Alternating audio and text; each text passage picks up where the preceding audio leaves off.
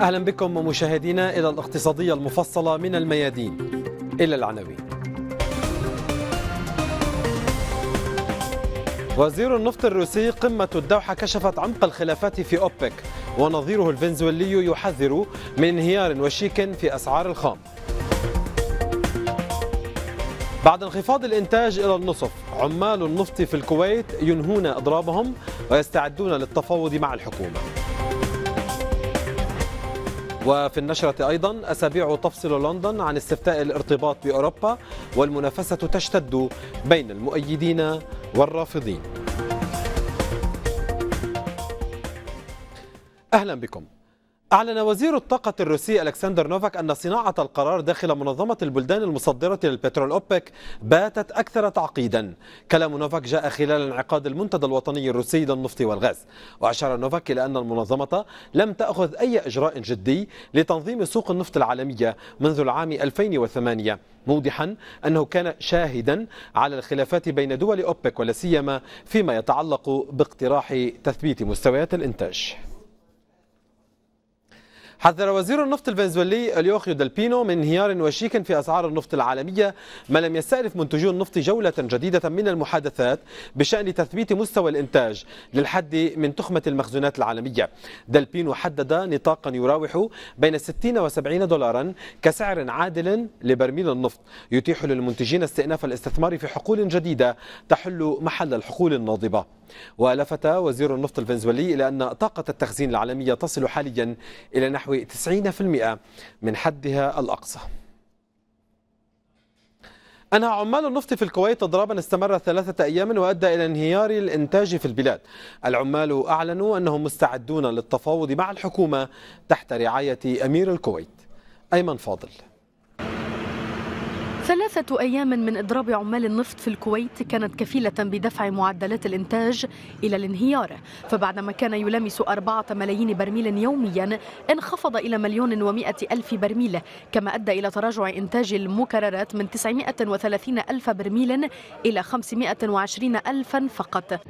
وعقب إنهاء الإضراب أعلنت شركة البترول الكويتية أن معدلات الإنتاج والتكرير ستعود إلى طبيعتها خلال ثلاثة أيام فقط.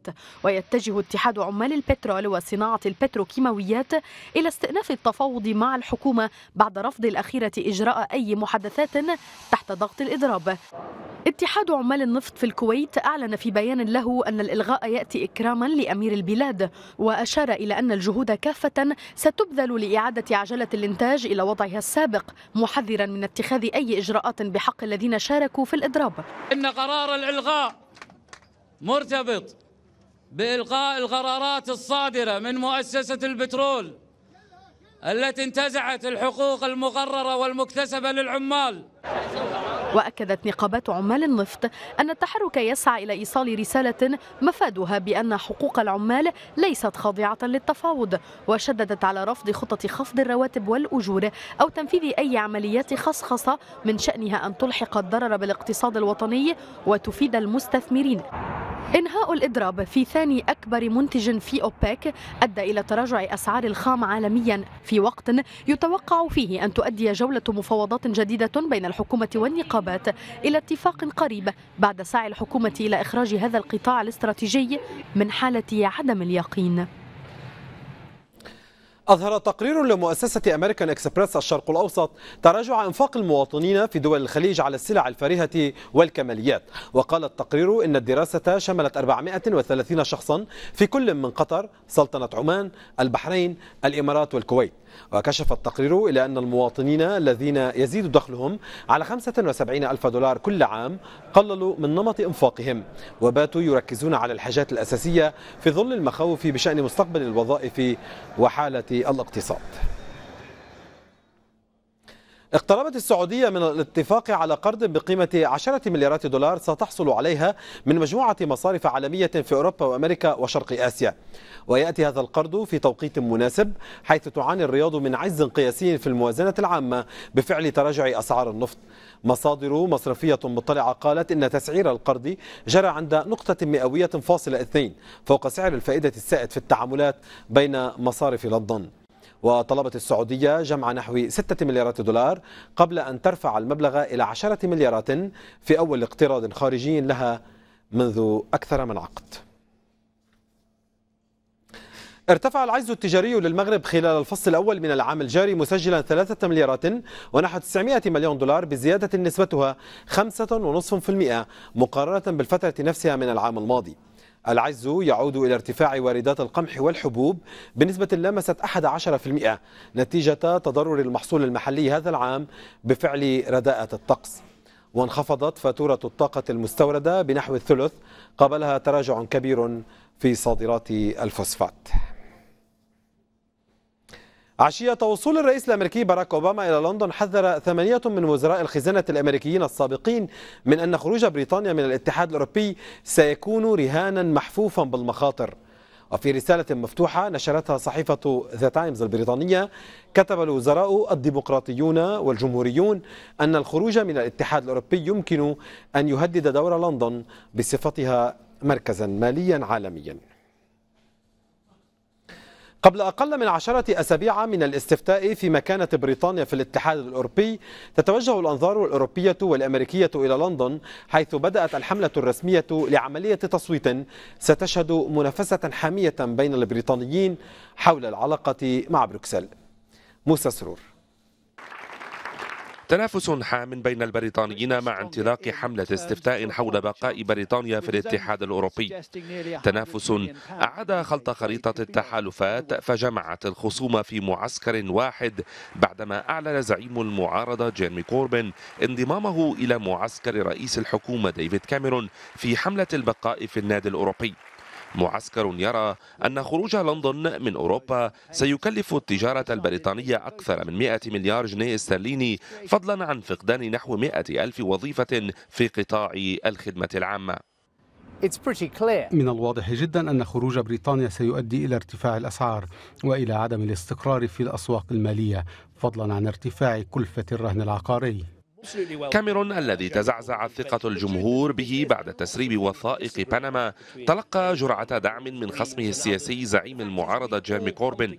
لكنه ما زال يواجه تمرد 128 نائبا من صقور حزبه من المحافظين ولا سيما عمدة لندن. بوريس جونسون قائد حملة الخروج من الاتحاد الذي يرى أن الاتحاد اجتاح كل بقعة في بريطانيا فضلا عن حاجته إلى إصلاحات وهو عاجز عن التصدي للتحديات التي يواجهها مثل أزمتي اليورو والهجرة. حملة الخروج من بريطانيا يبدو أنها أكثر تنظيما وتعبئة للجماهير المؤيدة. كذلك هناك دعم مالي كبير لها بينما حملة البقاء أقل تنظيما ودعما ماليا. انطلاق الحملة الرسمية حول أوروبا تزامن مع تضاعف المواقف الدولية المحذرة من خروج بريطانيا من الاتحاد الأوروبي. وزراء المالية في مجموعة العشرين تقاطعت مواقفهم مع تحذيرات صندوق النقد الدولي الذي رأى أن خروج بريطانيا يمثل خطرا على النمو العالمي. إلى ذلك من المتوقع أن يوضح الرئيس الأمريكي باراك أوباما خلال زيارته لندن أهمية بقاء بريطانيا في الاتحاد الأوروبي. استفتاء البريطانيين حول العلاقة مع أوروبا سيشكل محطة مفصلية في مستقبل بريطانيا. فالخروج من بروكسل ربما قد يفكك كيان المملكة المتحدة بسبب مطالبة اسكتلندا بإعادة إجراء استفتاء حول تقرير مصيرها. أما البقاء في أوروبا فسيزيد الانقسام داخل حزب المحافظين الحاكم ما يضعف أداء الحكومة البريطانية. مستصر لندن الميادين.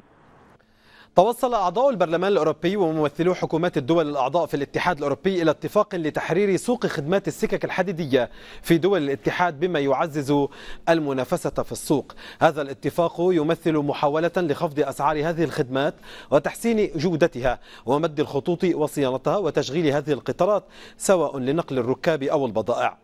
يذكر أن الاتفاق ما زال بحاجة إلى إقرار الدول الأعضاء رسميا له غير أن النقابيين والعمال أبدوا تحفظهم عليه خوفا من أن يؤدي إلى تسريح عدد من العمال. هدد وزير التجارة الفرنسي ماتياس فكل بوقف إجراء المزيد من المفاوضات بشأن اتفاقية جديدة للتجارة الحرة بين الاتحاد الأوروبي والولايات المتحدة إذا لم يحدث تقدم ملموس في الأشهر المقبلة. وعلى هامش مؤتمر حول اتفاقية التجارة والشراكة بين جانبي الأطلسي قال فاكل إن المفاوضات الجارية لم تحقق تقدما ملموسا وأن بلاده لن تقبل اتفاقا ضعيف الفعالية. لذلك فإن وقف المفاوضات نهائيا أمر مطروح على الطاولة. ألغت محكمة منطقة لاهاي الهولندية تعويضات بقيمة 50 مليار دولار كان يفترض أن تدفعها موسكو إلى مساهمين سابقين في شركة النفط الروسية يوكوس وفق حكم صادر عن محكمة التحكيم الدائمة في لاهاي. الحكم الجديد يرفع اتهامات يوكوس للسلطات الروسية بتدبير تفكيك الشركة النفطية لأسباب سياسية. وتقول موسكو إن مؤسس الشركة ميخائيل خودرغوفسكي قام بالتحايل على الدوائر الضريبية واختلاس الأموال على نطاق واسع. أزمة قطاع الصلب العالمي إلى مزيد من التفاقم فقد دعت الولايات المتحدة وسبع دول أخرى إلى تحريك عاجل لمعالجة الطاقة الإنتاجية الزائدة وذلك بعد يوم واحد من فشل الاتفاق على إجراءات لمعالجة الأزمة بين الصين وكبار المنتجين. بيان مشترك أصدره ممثلون عن الولايات المتحدة كندا الاتحاد الأوروبي اليابان المكسيك كوريا الجنوبية سويسرا وتركيا. دعا إلى إعادة هيكلة القطاع على نحو عاجل. وتلقي واشنطن باللائمة على بكين في فشل المحادثات ملوحة بإجراء تجاري ضدها. هذا كل ما لدينا من أخبار اقتصادية في الاقتصادية المفصلة. نشكر لكم حسن المتابعة. الميادين دوت نت للمزيد. إلى اللقاء.